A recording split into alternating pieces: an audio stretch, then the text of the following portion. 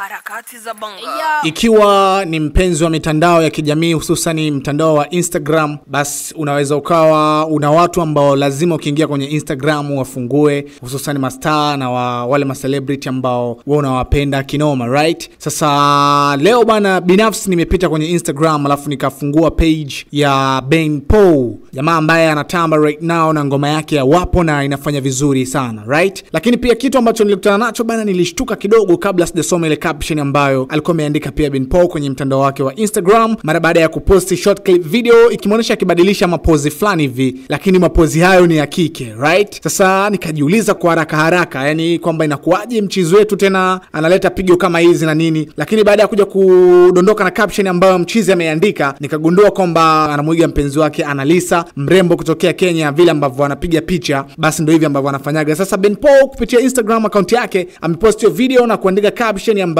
imesomeka kwamba pose za Analisa akipigwa picha, anasema no she will kill me after seeing this but it's true, yani akimaanisha kwamba hizi ni ili ni pose la mpenzi wake Analisa akiwa anapigwa picha, na anasema anajua atamuua akimwona, lakini huo ndio ukweli, au sio bana? So unafikiri kwa upande wako unaweza ukafanya kama hivi ambavyo amefanya Ben Paul? Is a funny though, yani safani na maybe ame, ame refresh mind na nini. Tunajua couples ambavyo zinakuwa zina react, watu wanakuwa wana sometimes mtu anarudi kama mtoto nini anapokuwa na mpenzi wake. Ndio hivyo ambavyo tunaona Ben Paul ameshikwa kinoma na mdada ama bida shosti mrembo kutokea pale Kenya na kuamua kufanya vimbwanga kama hivi ambavyo anafanya. It's a nice couple by the way and watu wanapenda sana hii couple ya Ben Paul pamoja na Analisa au so bana. So drop up your comment right now hapo down, alafu tuambie kwa upande wako nafikiri kitu gani ni kizuri hasa unapokuwa na mpenzi wako na vitu kama hivyo. Unaweza ukafanya kama ambavyo amfanya Ben Paul kwa jina moja tu la harakati za bongo, alafu subscribe ili uweze kuwa kwanza kupata update na stori zote ambazo zina step up right now kupitia harakati za bongo. Mimi naitwa Snadi Junior, nipate hivyo Instagram, Facebook, Twitter as well.